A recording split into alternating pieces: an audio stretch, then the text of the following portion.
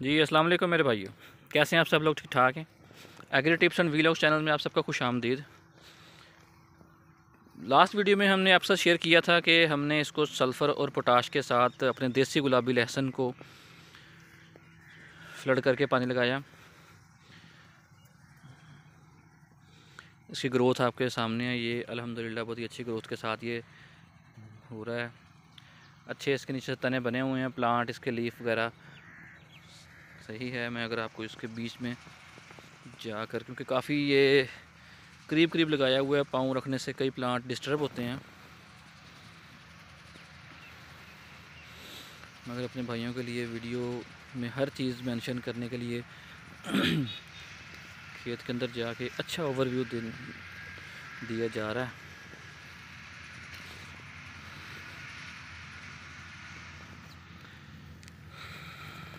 ये देखे मेरे भाई।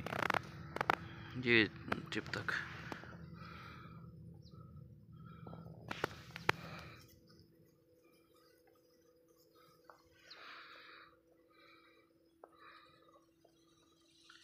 हमने जड़ी बूटी मार स्प्रे हदफ इस्तेमाल की थी इस पर।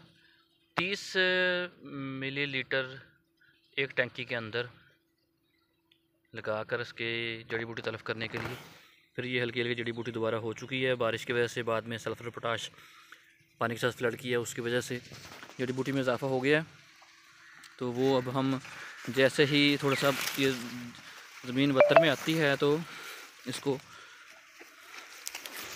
दाती से तलफ़ करेंगे। जब हम अपने खेत के बाहर आ गए हैं, यहाँ से अच्छा ओवरव्यू मिलता है। व्यू भी ये चीज़ देखिए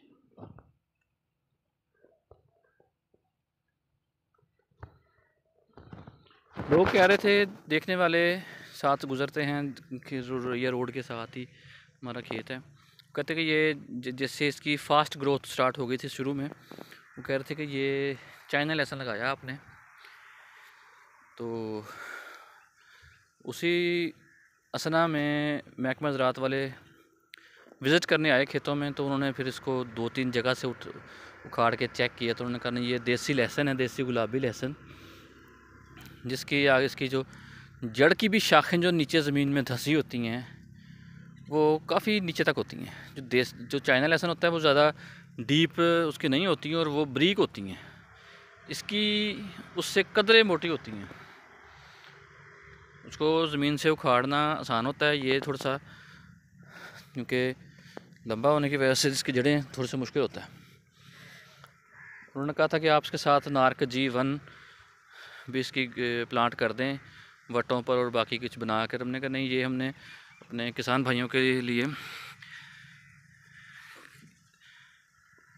आसानी के साथ देसी गुलाबी लहसुन की अच्छी ग्रोथ हासिल करने के लिए ये प्लॉट तैयार कर रहे हैं, दो कनाल का।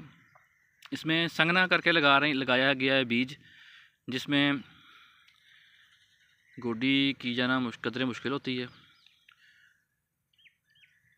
और वो गोडी का काम, पोटाश, होमिक एसिड और जड़ी बूटी मार स्प्रे से करते हैं। बेसिकली गोडी का मकसद है आपकी ज़मीन ऊपर से नरम रहे, पंजाबी में कहते हैं कि पोली रहे और आपका जो नीचे उसकी सीड की जो जड़दार जनास में ये फ़सल शामिल होती है, उसमें इसकी ग्रोथ हो। बल्ब जो नीचे है, लहसुन का बल्ब मोटा हो।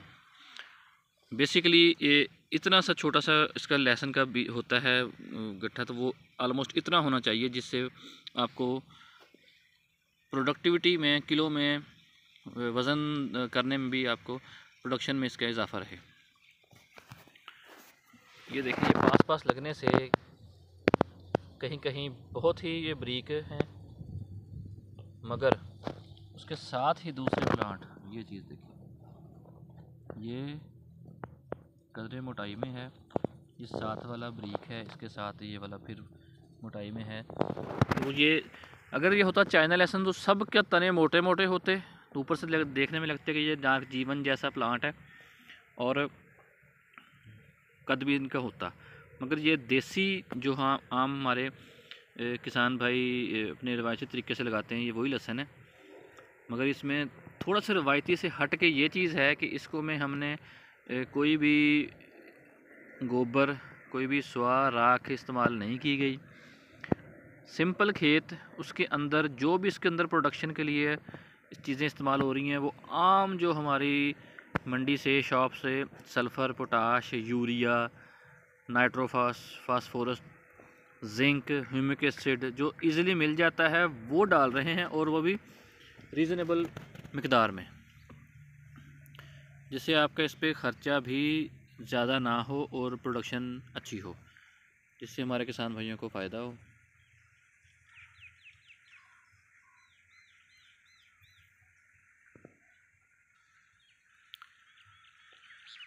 तो मेरे भाइयों, ये हमने तीन पानी इसको लगा दिए हैं और इसमें ग्रोथ आपके सामने है इसकी सारी।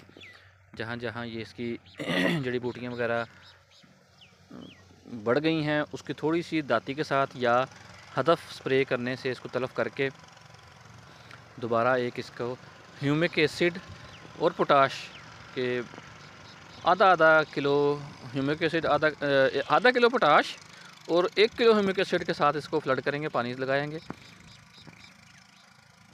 पोटाश इसको प्लांट को भी देगी, ग्रोथ होगी उसकी और ह्यूमिक एसिड से ज़मीन नरम रहेगी।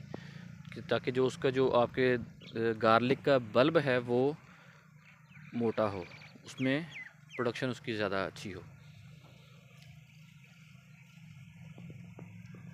नेक्स्ट वीडियो में इंशाल्लाह आपको इसकी हदफ स्प्रे